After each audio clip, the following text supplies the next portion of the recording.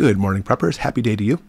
I'm down here this morning because, well, to be honest with you, our table has a big project on it sitting right now. I couldn't do it up there. Don't tell my wife I said our kitchen's not clean. But anyway, the, my wife and I, Ashley, were having coffee this morning and uh, just starting our day. And suddenly we heard some noises from out front. Now we have some things to let us know that somebody's approaching the house. And we're like, oh, somebody's coming, which is really weird because we're way out in the country. I mean, way out in the middle of nowhere. And sure enough, he knocked on the door which didn't ring the doorbell, which I kind of found that kind of odd too. And I go to the door, and here's this I guess the best way I can describe him is this dude. He's just a dude. And he's like over leaning on my smoker. And I'm like, hey, what can I do for you? And he immediately starts in by saying, "Hey, good morning. How you doing?" And puts his hand out. "How you doing, buddy?" And says, uh, "Well, I'm here because uh, I was just talking to one of your neighbors, which I'm not going to mention what neighbor it was, and and they have three daughters, and said you might want to." I was like, "Hold on, listen can you get to it? I got I have things to do. Just what's going on? He goes, okay. And he like he like picked up right where he left off. It was like a canned speech. I'm sure it was. I was also down at the Ogden Farms and talked to them about some different books and stuff and homeschool books. And I was like, all right, I, now I can already smell the salesperson. I was like, obviously you're, you know, trying to sell us some homeschool books and stuff. I was like, listen, can you really get to it? And he goes, yeah, anyways, I just want to come over and talk to you about, I want to go through. And, and, and, and, although I was really, I'm really trying to stress that I was cutting him off, which I was, he was not getting to the point. He was not really saying it. If he would have simply said, hey, listen, I got some homeschool books I want to talk to you about, I probably still would have said no. But I had to cut the guy off because he just kept rambling, rambling on, rambling on. He was looking for that red thread, which we'll talk about in a few minutes. And so anyway, long story short, I said, I'm sorry. I'm sorry. I don't have time for this. And he goes, oh, okay. And then off he goes. Now, when he came to the door, this is something I, figured we can turn this into a lesson because when people come to your door, come to your house, you need to be on alert for this, including this guy too. I mean, he came across as trying to sell some books, but he could have been probing, you know, basically military strategy of checking out the house and see what's going on, maybe want to rob the house or even worse, that's the kind of things you need to really look at. And we're going to go through, therefore, 10 things you need to look at for your home safety, especially when somebody comes to your door. But with that, I mean, these are very important, all of them are, but wait to the end because I'm going to give you a bonus.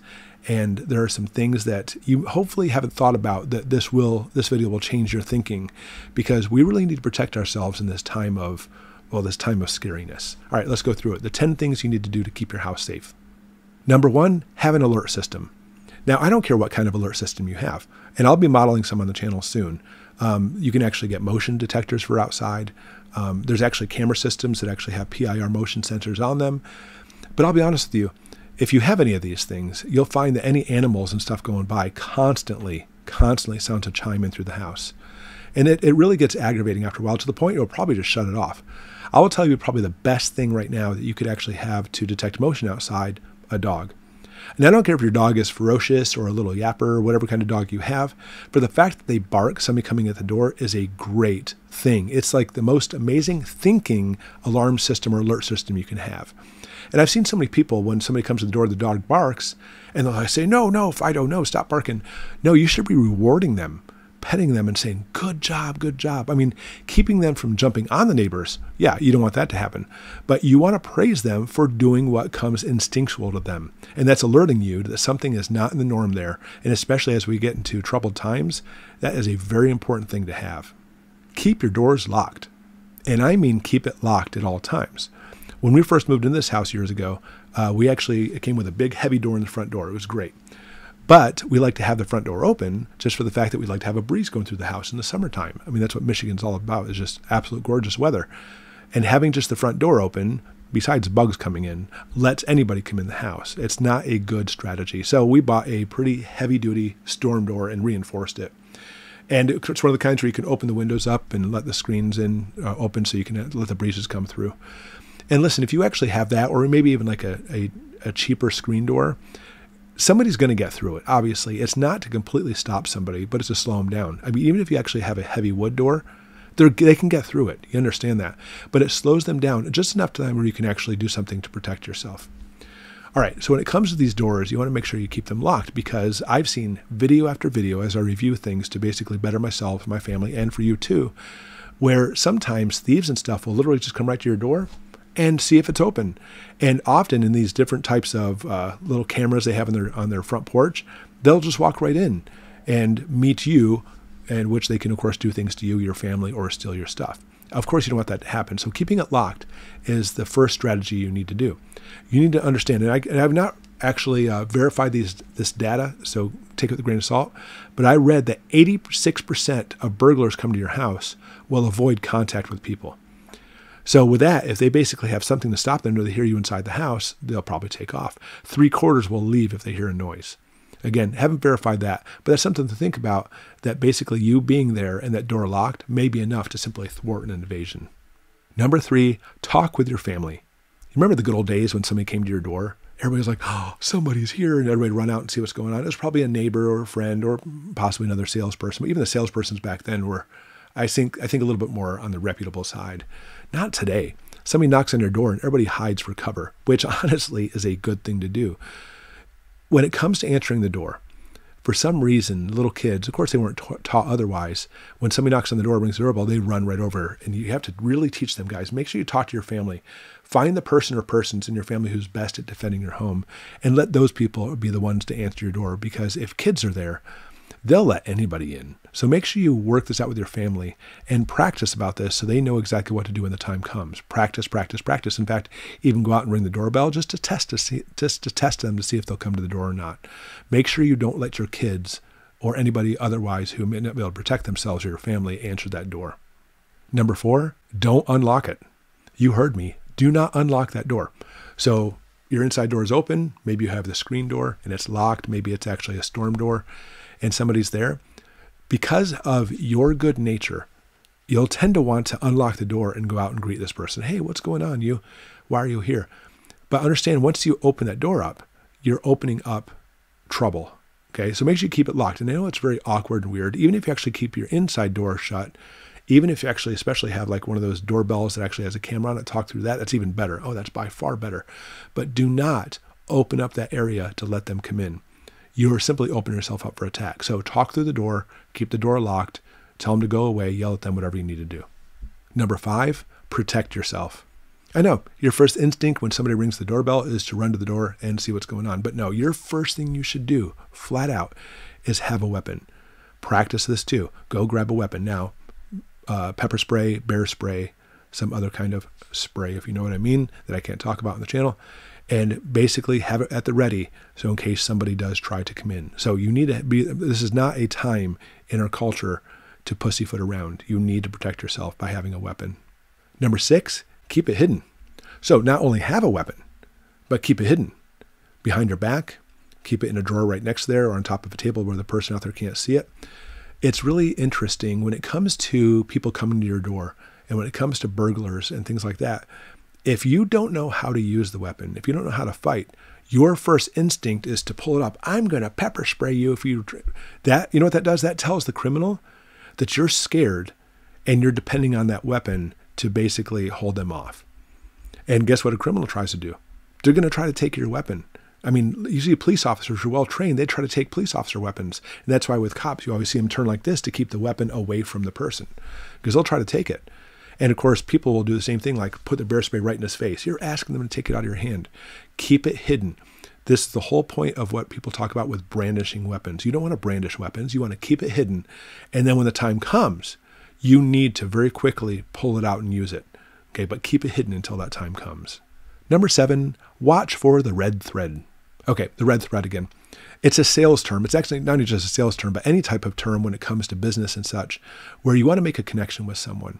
And salespeople who are like true salespeople will watch for these things.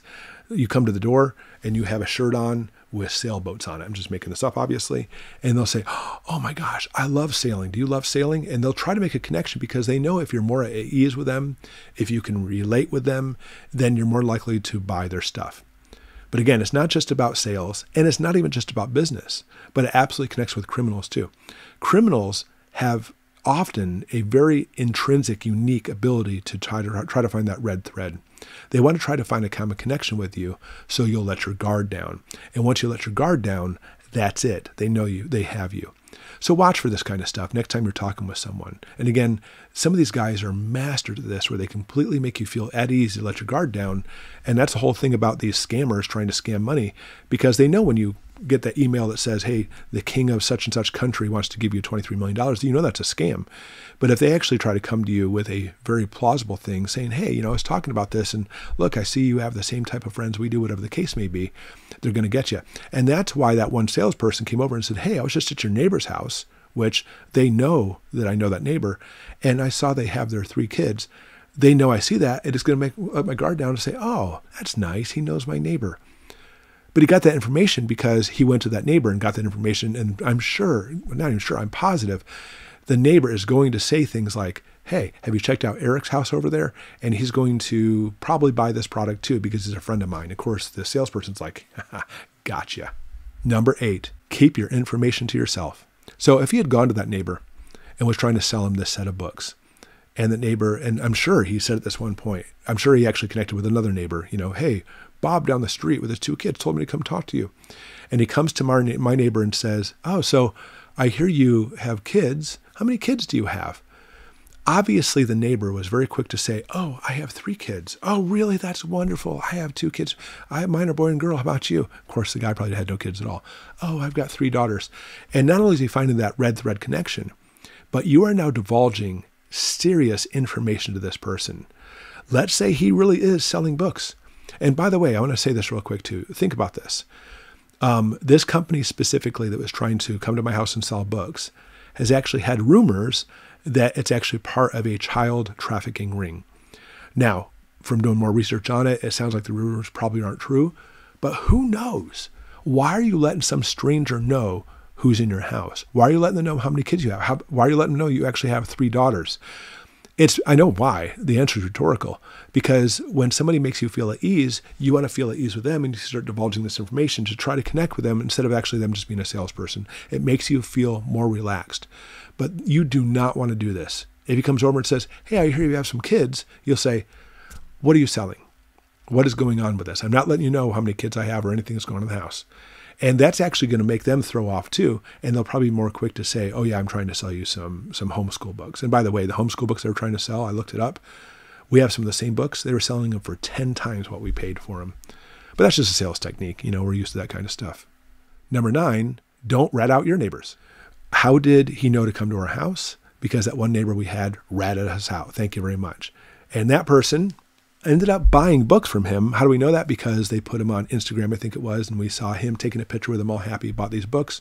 They bought these books, and and I guarantee that neighbor said, "Oh, go see Eric." Don't rat out your neighbors. Listen, we're a community. It is not this neighbor against us. In fact, that neighbor of neighbor of ours I'm talking about is a very good friend of ours. We love these people. But they were very quick to simply say, oh, go to Eric's house. And more than likely, guess what? They probably said, go to Eric's house. He's got a bunch of kids and they homeschool. And the list goes on. So you actually have at this point your neighbors giving out your information. You may not be able to control your neighbors and what actions they have, but you can control your actions for our other neighbors.